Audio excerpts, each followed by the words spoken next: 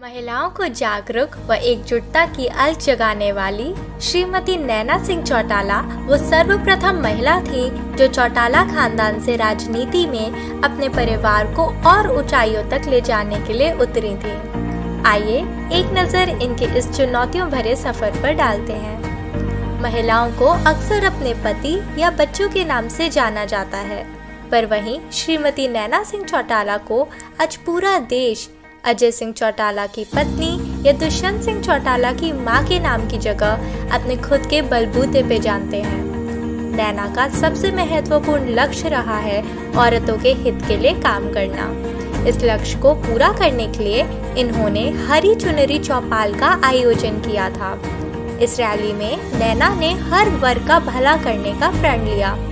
पर इनका हमेशा से ही खास तौर से महिलाओं को आगे बढ़ाने का सपना रहा है। और इसी लोकप्रियता के चलते नैना सिंह चौटाला ने 2019 के चुनावों में कांग्रेस के उम्मीदवार रणवीर सिंह महेंद्र को बाधड़ा में पूरे 13,704 वोटों से मात दी। सत्ता में आते ही नैना ने बाधड़ा के विकास के लिए काम करवाना शुरू कर दिया। न ही सिर्फ़ बाईपास और सड़क बनवाना बल्कि सरकारी कॉलेज खोलने की विधानसभा से मांग भी करी।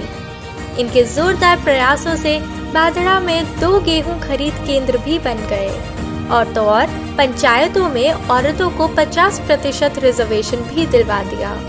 इनके इन्हीं प्रयासों की वजह से लोगों का प्यार इनके लिए दिन ब दिन बस बढ़ता ही जा रहा है। हमने अक्सर लोगों को नारे लगाते हुए सुना है कि बादड़ा की जनता की है आस माता नैना चौटाला पर है विश्वास। आज महिला दिवस के अवसर पर हमने श्रीमती नैना सिंह चौटाला के कड़क शासन व अपनी जनता के प्रति कोमल हृदय को भली बांधी परखा, जिससे हमें काफ़ी कुछ सीखने को मिलता है।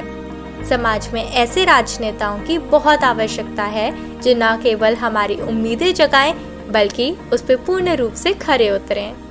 She is the face of every woman of the society the trust of every Indian citizen, and the need of a developing nation.